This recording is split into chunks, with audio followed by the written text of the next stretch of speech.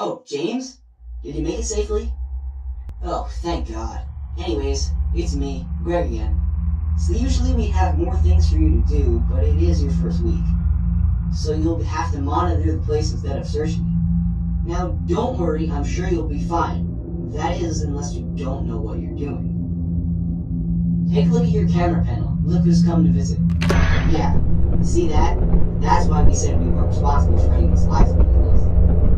Anyways, that thing washed walks around. And well, after one thing. Fresh meat. Now I'm not trying to have you killed, but we have to have someone here to check around and get ready to take what we want and leave. There's quite a few things we're gonna be needing. Mostly just contracts, valuables, maybe even some stuff from the boss's office. So you're probably panicking right now. Well, I personally don't see the need for it. Press space and it'll shut off the room's lights.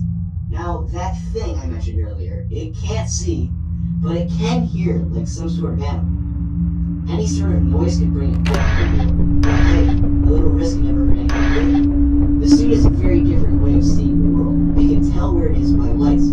So that means if you have the lights on, you can see your shadow. So that would mean this. Turning off the lights will cause him to leave. Don't worry though, you got the best room possible. You even have your own bathroom. There's a nice little vent above your head. Even a goddamn closet. It's pretty spacious, I must say. Wait, I forgot about something. Sometimes the suit will try to enter your room by using the closet. Don't worry if he comes in there though. Don't turn on your flashlight or he will see you. But yeah, if you just fend off against in Oswald, you'll be fucked. Wait, I forgot about Oswald. He usually tries to enter through the closet. Just shine your flashlight and he'll be gone. That's all the time I have. See you tomorrow.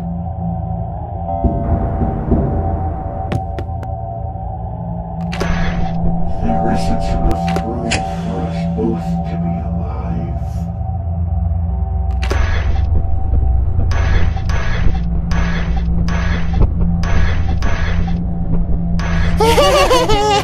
There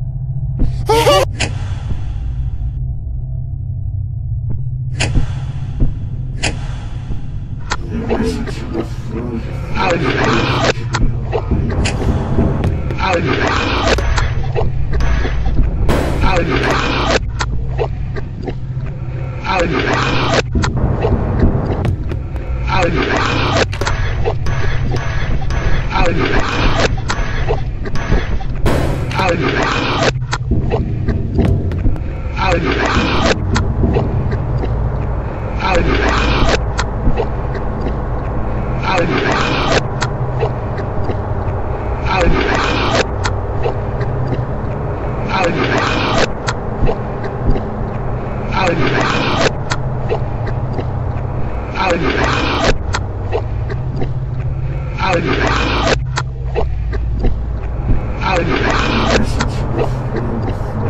Out.